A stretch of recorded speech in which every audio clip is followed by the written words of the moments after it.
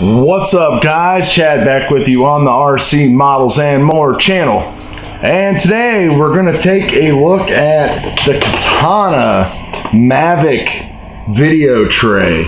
Now, this is awesome if you want to get more out of your Mavic. Uh, I had a DJI Osmo at one point, and carrying it around and everything with the extra batteries and the Bluetooth connectivity or, or Wi Fi, whichever it was, it wasn't the most practical or stable type of device. So now that with the DJI Go 4 app, we can cache sound and video uh, in the background, we can actually record with this and overlay that sound. So basically, you can turn your Mavic into a handheld stabilized camcorder and which is pretty cool. Now, how this thing works is your Mavic goes in right there and your phone goes right there on top. You uh, don't connect up with any cord or nothing. Just make sure you take all of your gimbal mounts off and everything. And you're going to actually go with the Mavic and switch on the Wi Fi with the little button there on the side. And then you're going to be able to stream and use this just like a camcorder. So, I'm to open it up here, take a look at what we got. Dropping stuff all over. Just two pieces. We basically have the grip, and then we have the smart device holder right here, which let's see, that goes up, and then that must lock it into. Yeah, okay. So this goes up like that, and then you have a lock right there, so you can't move it back. So that's pretty cool. And then all this does is just thread right into the bottom.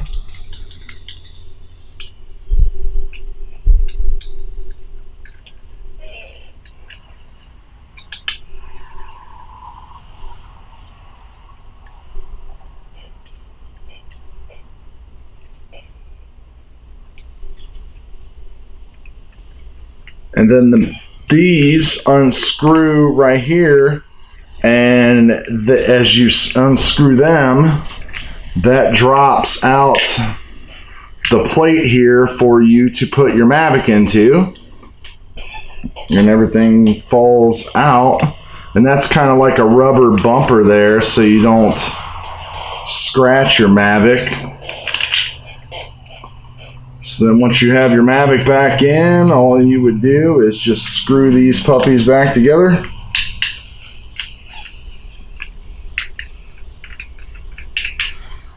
and that's it. And then you're gonna have, yeah, I want it to go that way. You can feel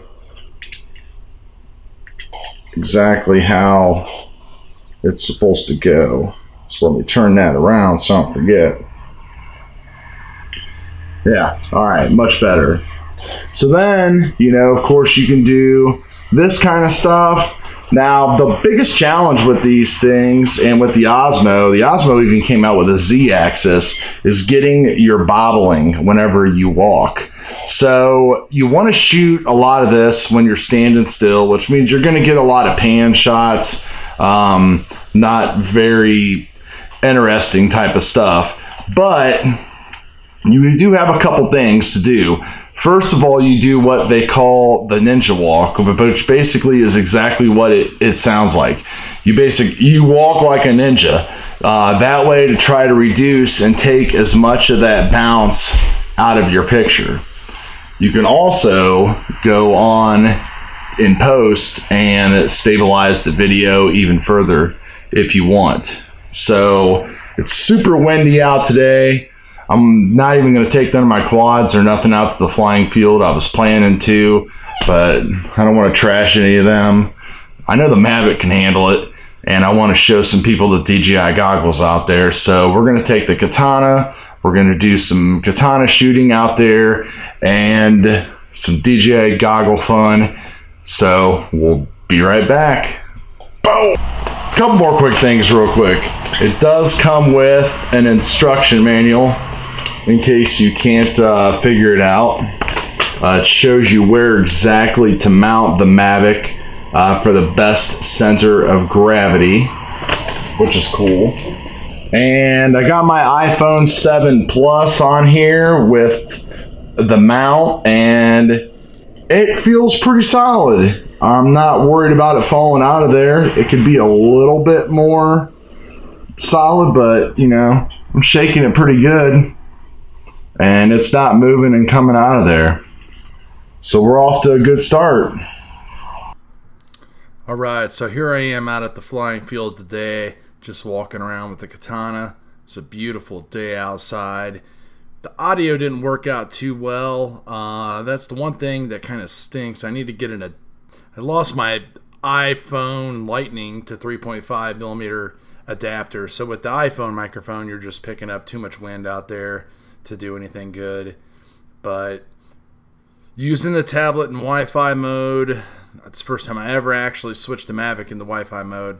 Everything was great. No lag, no delay.